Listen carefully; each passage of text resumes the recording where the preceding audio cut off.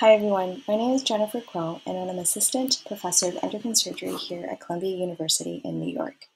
I'm also one of the 2020 American Thyroid Association Research Grant awardees. And the title of my project is Clinical Outcomes of Radiofrequency Ablation of Thyroid Nodules in the United States. Thyroid nodules are quite prevalent, affecting 65% of our population. Both benign as well as cancerous thyroid nodules contribute to an estimated 130,000 thyroid operations performed each year.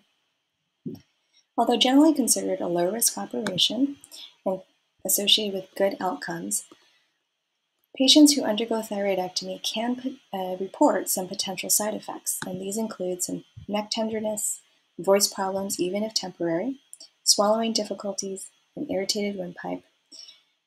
Some less common but more concerning complications include hematoma, decreased parathyroid hormone activity, as well as nerve injury. In addition, even if patients choose to undergo removal of only half of their thyroid gland, an operation called thyroid lobectomy, 25 to 30% of these patients will require thyroid hormone supplementation at some point in their lifetime. Due to these side effects, patients have often looked for an alternative approach for treatment of their thyroid nodules.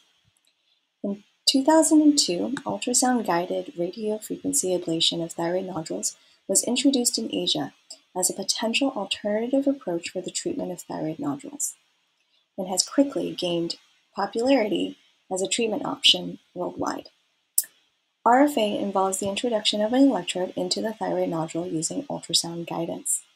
The electrode has a tip that emits radiofrequency waves that allows for burning of tissue surrounding that tip in a very targeted fashion.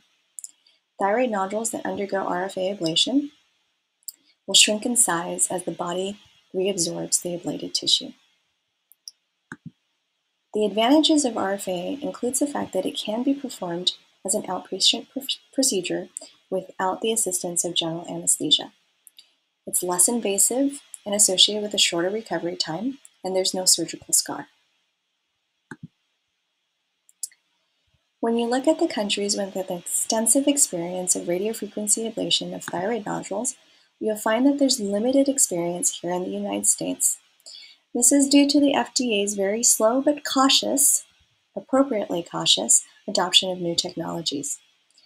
However, RFA has made its way to the United States, and the Mayo Clinic published their first series of 14 patients in 2018.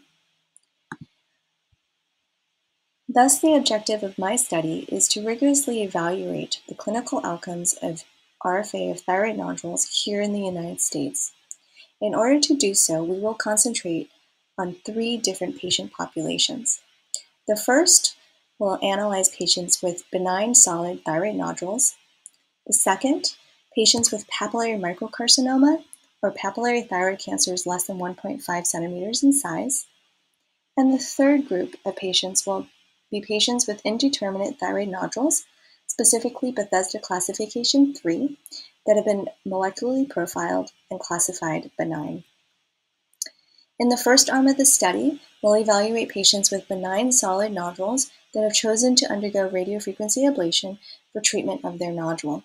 We'll compare this group of patients to those that have opted for surgical resection of their thyroid nodule. The outcome of interest in this particular arm of the study will be differences in quality of life measures. In the second arm of the study, we will evaluate patients with papillary microcarcinomas that undergo radiofrequency ablation and compare this group of patients to those that elect to undergo active surveillance of their small cancers. In this study, we will evaluate the clinical outcomes between these two groups of patients. In the third arm of the study, we will evaluate patients with Bethesda 3 nodules that have been classified as benign. We will compare patients that choose to undergo RFA for treatment compared to those that choose either surgery or active surveillance for treatment. In this arm as well, we will be concentrating and analyzing the clinical outcome differences between these three groups of patients. I would like to sincerely thank the Thyroid Cancer Survivors Association for their generous donations that have enabled these research grants. I would also like to sincerely thank the American Thyroid Association for allowing me to contribute to this important mission of optimizing the care of our patients with thyroid nodules and thyroid cancer. Finally, I would like to thank my fabulous team here at Columbia University for their ongoing support of our important work.